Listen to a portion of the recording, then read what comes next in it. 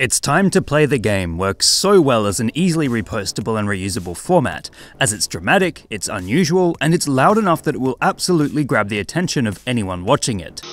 It's time to play the game.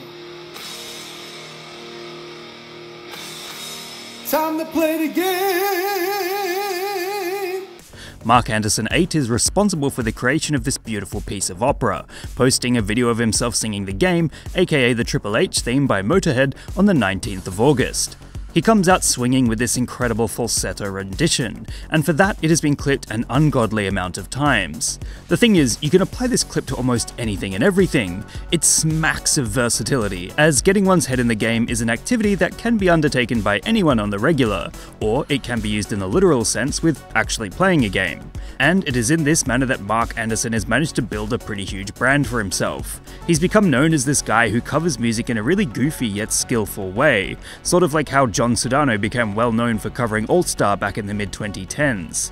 It's characters like Anderson and Sudano that make meme culture the powerhouse it is today, as they both have managed to build extensive brands around their talents as musicians and it shows. Plus, Mark Anderson has his own album release under the title Big Daddy Mark, and the cover art is just incredible. Take a look at the track list too, it's completely off the walls bonkers, demonstrating the fact that he knows his target audience extremely intimately, knowing full well they love to engage in brain rot.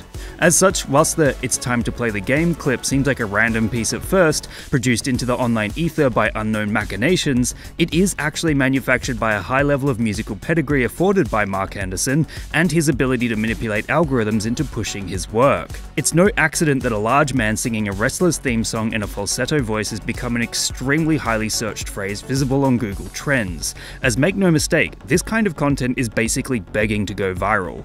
You might find it shared on niche Discord servers, or you might find it shared by co-workers on a Friday afternoon around a water cooler.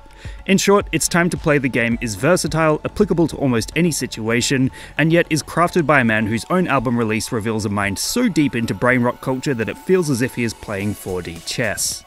What meme would you guys like me to give a lesson in next? Let me know in the comments below. And remember, like and subscribe.